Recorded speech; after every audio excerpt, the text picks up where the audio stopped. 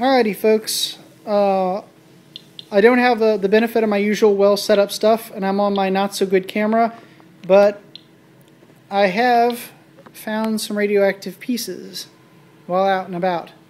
So here's my Geiger counter. I've taken a 10 minute count now in this area, and I've discovered it to be give or take about 33 counts a minute.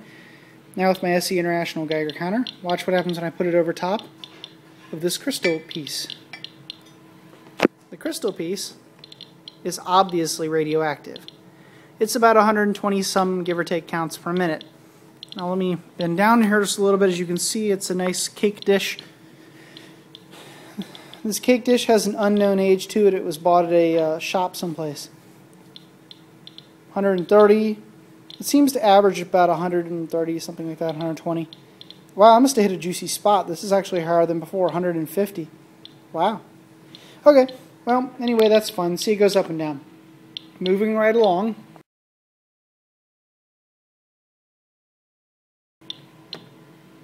To this next little thing. It's kind of like a little itty bitty micro pitcher. So let the pegged out Geiger counter re reduce a little. So remember, folks, this Geiger counter is taking a statistical average based on a, a, a running total. So it's it, it it's it needs to have a few moments to reduce itself before it goes back up again. This is mildly radioactive.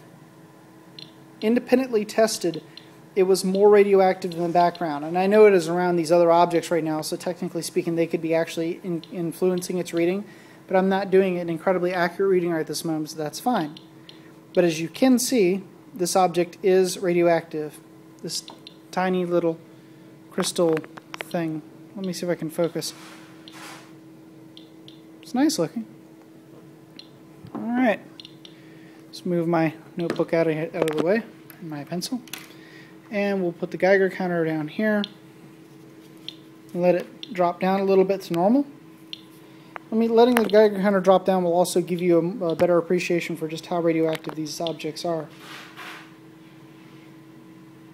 Okay. Geiger counter is dropping back down to normal. Still sort of elevated over here, but regardless. Now it's okay to put the Geiger counter on the object because I'm not contaminating it. These have uh, material locked in glass and the glass is generally holding the radioactive material and daughter products while releasing only the radioactive energy, such as alpha, beta, and gamma particles, which uh, uh, can pass right through the glass. Alrighty, take a look at that. 98 counts per minute off this little piece of glass right here. Alrighty. I just had dinner over here, so you can probably hear stuff going on in the kitchen. I just randomly decided to look around the house and find stuff. On a, on a secondary note, while I'm looking at this, I thought I might point out, I also found a, um, also found, I don't think I wrote it down here, I found a lamp from 19, from the 1990s that was putting off uh, 70, 80 counts per minute. That was in their basement, and I found the other lamp that was like it and it also put out a, a, a, an equivalent amount of radiation. So it's hard to say what the cause is. I'm picking up very little at a few inches away, so my assumption is an alpha producer, and the alpha producer is probably undergoing uh, isomeric adjustment, which is probably the, what's giving me a slightly elevated readings from gamma emissions that come out of these. And the alpha emissions are significantly higher. This one's not very radioactive at all. I ought to have a false alarm in this object right here. The gamma emissions from the other objects are, of course, entering the Geiger counter and setting it off. I think this one's a false alarm. It's also not the same style as any of the other ones. The last object that is for sure radioactive, let me put this, this picture away. Excuse the impromptu nature of this is this item right here. Let me pull it out and put it right on the table. Gently on the table, so it's a nice table. This item right here turns out to also be significantly radioactive. It is a nice little pitcher, and when the Geiger counter is put close to it, it reads a significant reading. Let's gently do that.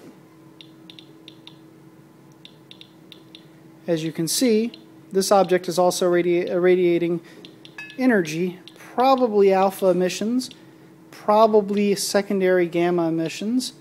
Some of these could have beta emitters, but probably not. This is probably all confined to alpha and gamma.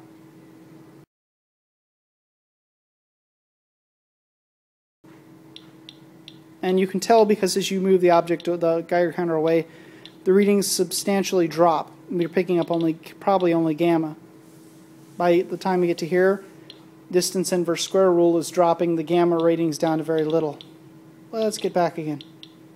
And as you can see, radioactive. And so, these are the radioactive objects I randomly found today. They're all over everybody's house. Nobody knows. Isn't that amusing? Well, moving right along.